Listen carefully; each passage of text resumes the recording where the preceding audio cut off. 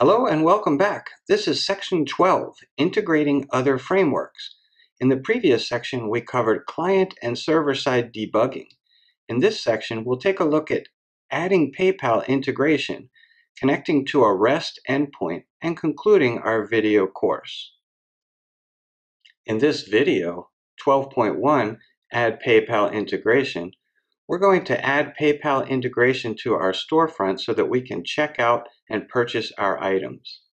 Let's start out by cleaning a little bit of this up. If you notice when you click the checkout button, if you're not inside of the actual store, then you wouldn't see your checkout.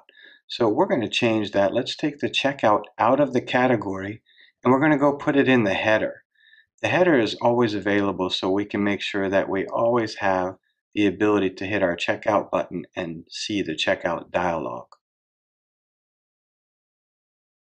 Now that we have our checkout appearing when we want it to, is we're going to go into the packages and we're going to add our PayPal package. So let's go in here and we're just going to put MRT colon PayPal.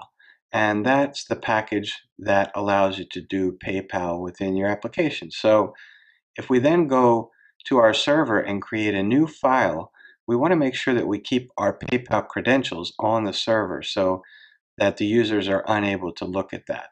And here we're going to put Meteor PayPal, and then we're going to put, and we have to make sure that it's actually uppercase, and we're going to put the config here. So inside of the config, we give it the host, and that's api.sandbox.paypal, and you know, there's different URLs for testing and things like that, which you'll find all of that out once you sign up for a PayPal account. And you get a client ID and a client secret. So you put the client ID here and the client secret here. Obviously, I am not going to put one of those here, but for the moment, we're just going to use this to set it up. So here we see we have our four parameters that PayPal needs to be configured. And now we can go in and this package actually supplies already a template for doing the entire checkout process. So what we'll do is go right inside of the middle of our panel here and we'll just put a call out to the PayPal you know, dialog. So we have a PayPal credit card form is what that's called. And when you place that in here, then when we go and click our checkout button, we're going to see now that we have you know, the name on the card, the type of card, expiration date, all the stuff that you need to do that checkout. So we still need to handle the form. So what we're going to do is in the JavaScript for the checkout, we're going to go in and put the information that's required to do that. So let's just go in and say template dot PayPal credit card form. Remember that was the form that we used to do this. And then in there we're going to put it in events.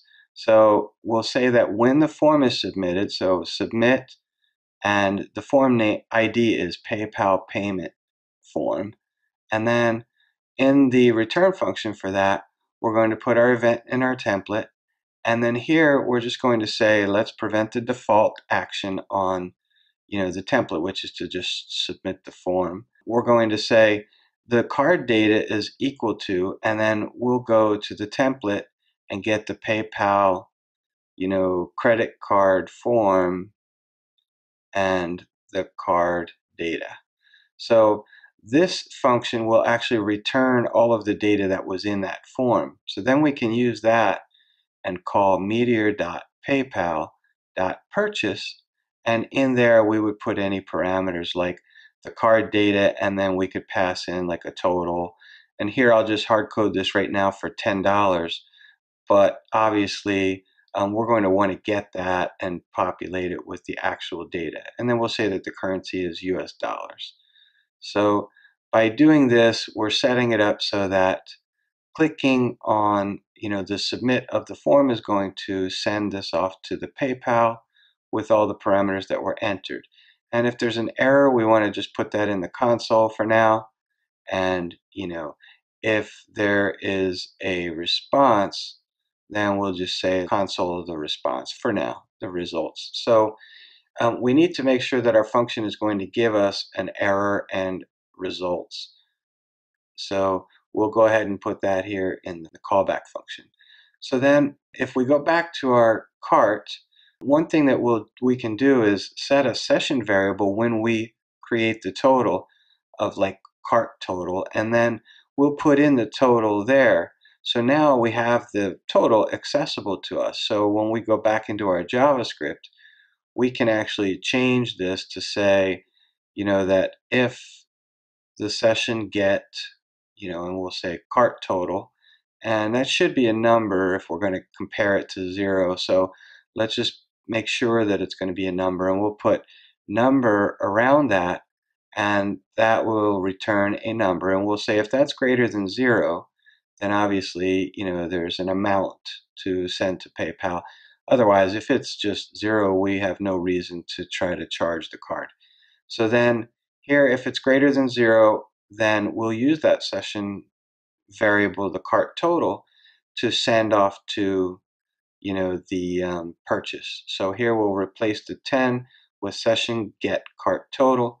And then we know that when we submit this, it's going to submit it for whatever amount um, they have in their cart at that time. So um, the next thing that we can do is go into our template and just below you know this checkout section we can put the actual um, total so that it appears on the form when they're checking out and you know you can format this however you want to but the point here is that you know we'll make sure that we have a helper which is the cart total and all we're going to do is return the session variable which is cart total and basically what that means is that now cart total should appear on our checkout form. So um, once we refresh this and we go to our cart,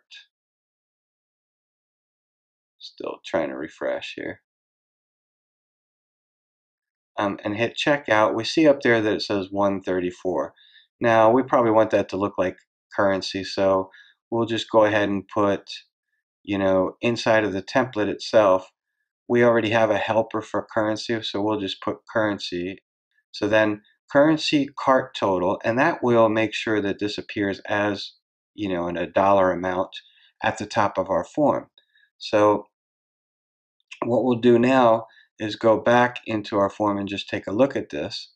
And we'll see that in the checkout window that we have, you know, $134, and then you could fill in all your information and basically you're able to check out with that. So the next thing that we'll do is just clean this up a little more.